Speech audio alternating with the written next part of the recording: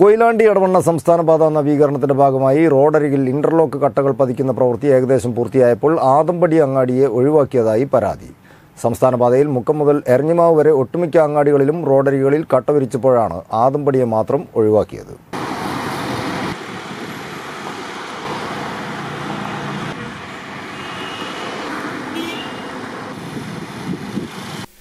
കൊയിലാണ്ടി ഇടവണ്ണ സംസ്ഥാന പാത നവീകരണത്തിന്റെ ഭാഗമായി റോഡരിയിൽ ഇന്റർലോക്ക് കട്ടകൾ പതിക്കുന്ന പ്രവൃത്തി ഏകദേശം പൂർത്തിയായപ്പോൾ ആദമ്പടി അങ്ങാടിയെ ഒഴിവാക്കിയതായാണ് പരാതി ഉയരുന്നത്. സംസ്ഥാന പാതയിൽ മുക്കം മുതൽ എരഞ്ഞിമാവ് വരെ ഒട്ടുമിക്ക അങ്ങാടികളിലും റോഡരിയിൽ ഇന്റർലോക്ക് കട്ട വിരിച്ചപ്പോഴാണ് ആദമ്പടിയെ മാത്രം ഒഴിവാക്കിയത്. പ്രശ്നം നാട്ടുകാർ നിരവധി തവണ ജനപ്രതിനിധികളുടെ ശ്രദ്ധയിൽപ്പെടുത്തിയിരുന്നെങ്കിലും നിരാശയായിരുന്നു ഫലം. മാത്രമല്ല Green Valley College C H M L P school തുടങ്ങിയ വിദ്യാഭ്യാസ സ്ഥാപനങ്ങൾ പ്രവർത്തിക്കുന്ന ഈ അങ്ങാടിയിൽ സൂചനാ ബോർഡുകളോ മറ്റു മുന്നറിയിപ്പ് ബോർഡുകളോ സ്ഥാപിച്ചിട്ടില്ല. നിലവിൽ പ്രവൃത്തി ആരംഭിച്ച അന്നു മുതൽ തന്നെ പ്രവൃത്തിയിലെ അശാസ്ത്രീയതയ്ക്കെതിരെ വ്യാപകമായ പരാതികളാണ് ഉയർന്നു വന്നിരുന്നത്. ഇനിയും പരിഹരിക്കപ്പെടാത്ത പരാതികളും നിരവധിയാണ്.